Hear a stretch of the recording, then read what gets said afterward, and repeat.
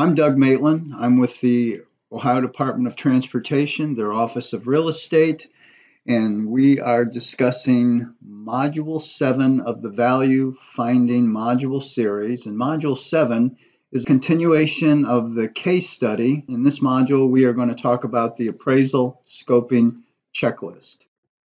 This module focuses on filling out the appraisal scoping checklist for Parcel 1 of Butler 73, 13.05, and completing the appraisal scoping checklist allows ODOT to comply with the federal requirements in 49 CFR 24.103A, and those requirements are the agency acquiring real property has a legitimate role in contributing to the appraisal process, especially in developing the scope of work and defining the appraisal problem. The scope of work and the development of an appraisal under these requirements depends on the complexity of the appraisal problem. The agency must contribute to the appraisal process, especially in developing the scope of work and defining the appraisal problem. Two, the agency has the responsibility to assure that the appraisals it obtains are relevant to its program needs reflect established and commonly accepted federal and federally assisted program appraisal practice, and at a minimum, complies with the definition of appraisal in 24.2A3 and the five following requirements. This rule tells us that the agency must assure that the appraisals it obtains are relevant to its program needs and reflect established and commonly accepted appraisal practice. So these regulations require ODOT to participate in defining the evaluation problem, developing the scope of work needed for the valuation problem, which was based on the complexity of the valuation problem, and assuring that the appraisals ODOT receives are relevant to its program needs. ODOT uses the appraisal scoping checklist to implement those above referenced regulations. The appraisal scoping checklist is used by ODOT to document the complexity of the valuation assignment, and it must be completed at the beginning of the valuation assignment on all parcels where an estimate of compensation is needed. This would include the value analysis report, the value finding report, and the right of way appraisal report. The appraisal scoping checklist is used by ODOT as a meaningful assessment of the pertinent issues surrounding the severance of the part taken from the whole so that all parties agree about the issues that need to be addressed in the appraisal, the scope of work needed for that, and the valuation problem. And here's what the appraisal scoping checklist looks like. It's a two page form, pretty standardized, shouldn't be too difficult to fill out. All right, so we're going to start working on the appraisal scoping checklist as a continuation of the case study, parcel one of the Butler 73 project that we've been working on on the last several modules. Okay, we're going to start by filling in the top part, which is the owner's name. And here's a blow up of the top part. We can get that from the summary sheet on the right of way plans or from the title report.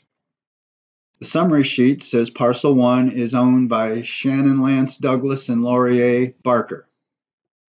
So, based on that information, we insert it into the owner's name. So you can see the project's name that came from the summary sheet on the side of the slide.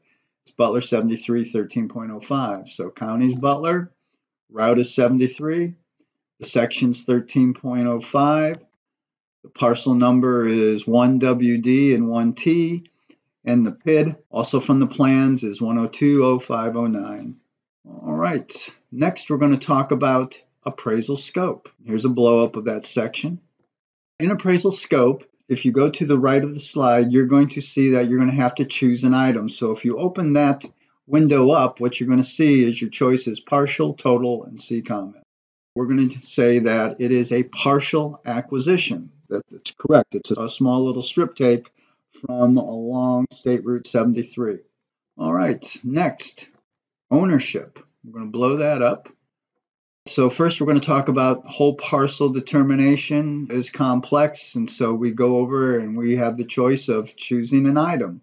And if we open that up, the choice is yes, no, not applicable, see comments. The answer is no. the whole property is not determined to be a complex issue. Next, it's asking us if an RE95 is going to be required. An RE95 documents the improvements in the take area. It documents if the improvements are personal property or real property, and it identifies who owns those improvements. Improvements that are identified as personal property are not included in the appraisal, but will be moved as a relocation benefit. And for those improvements that are identified as real property, a contributory value of those improvements is going to be determined in the appraisal process, and an offer of compensation is going to include those improvements. To provide both relocation benefits for an improvement and then also to pay compensation for those items is double compensation. And that is forbidden under 49 CFR Part 24. That's why an RE95 is important if there are improvements in the take area. Improvements classified as real property and that are owned by a tenant require an estimate of contributory value and an estimate of salvage value.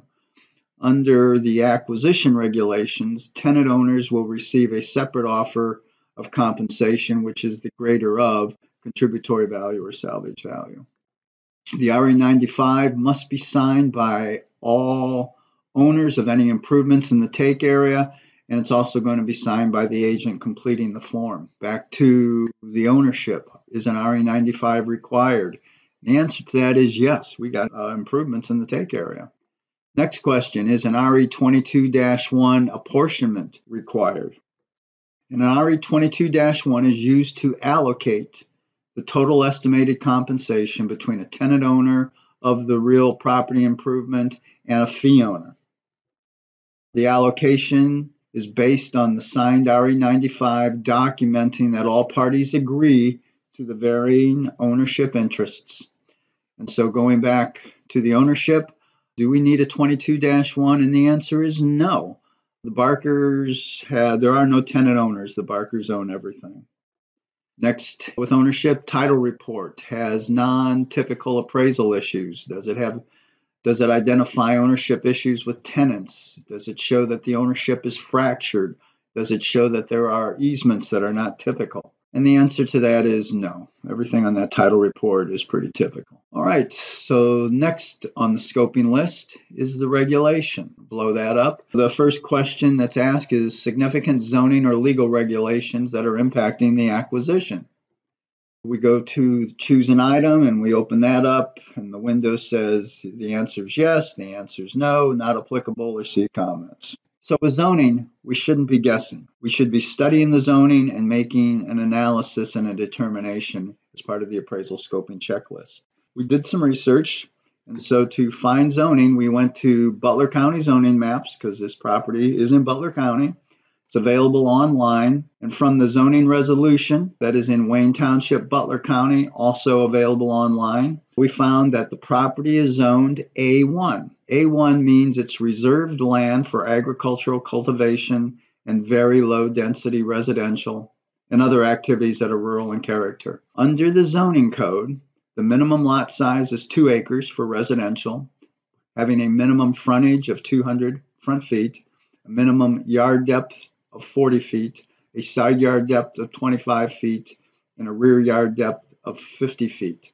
And the lot coverage cannot exceed 20%. If we look at the property we're appraising and focusing on does it meet the criteria of a minimum lot size of two acres. Parcel one before the take had 5.042 acres in gross, 0.405 acres was encumbered with PRO, which left us with a net area of 4.637 acres. After the take, uh, the residue contains 4.637 acres, and the take was 0.149 acres which was the net take, leaving the residue at 4.488 acres. So the residue clearly exceeds the minimum size requirements. Front yard depth uh, requirement is 40 feet and is measured from the right of way line to the house. Before the take, it was 70 feet, and after the take, it was 60 feet. So the setback from the front yard exceeds the 40 foot threshold. Rear yard setbacks are unchanged by the WD taking, so that's not an issue. and improvements on the residue don't exceed the 20% threshold for lot coverage. So, in conclusion, there's no apparent issues to the residue with respect to zoning. So, we go up there to the regulation portion of the scope checklist and say no, there's no issues. Second question they're asking is the property. The property is not compliant with zoning regulations in the before and the after. And the answer to that is no. The, the property is compliant both before and after the tape. The next one is the right of way and construction plans. Blow that up. When we open the window, our choices are yes, no, not applicable, see comments. So, question one significant improvements are in the acquisition or are impacted. And our answer to that is no. There, there are no significant improvements like a structure, like, like a house, like a barn, or anything. What is in the take area, though, is fencing, stone pillars, a wall, drive, and, and some trees. The second question are significant impact to site improvement? And the answer to that would be yes because we're taking those site improvements. The next question is significant utilities. Well, septic service lines are in the acquisition area or impacted, and the answer to that is no, they're not. Finally, significant issues due to elevation change, topography, or floodplain, and the answer to that is no. Getting back to the front page of the appraisal scoping checklist, we are now in the conclusion section, and we're going to blow that one up. So the first question is parcel acquisition cost. $10,000, meaning it's a VA limit, or is it $65,000 limit, which is for the VF? To answer that question, we brought up the drive detail, and that dotted red line shows the existing right of way line, solid red line shows the new right of way line. The take, the net take area is between those two lines. And so there's fencing that's being taken, there's a stone pillar and wall on the left side of the driveway that's being taken. There's a stone pillar and wall on the right side of the drive that's being taken. There's an entry gate that's attached to that wall and pillar that's being taken. And those blue lines show the concrete drive that's being taken, that is in the net take area. So that drive is being taken.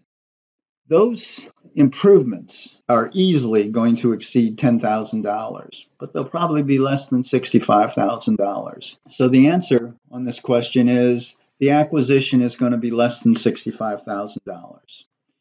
Next question is anticipated damages uh, such as access, proximity, internal circuity, change to highest and best use. Are any of those issues of damages expected?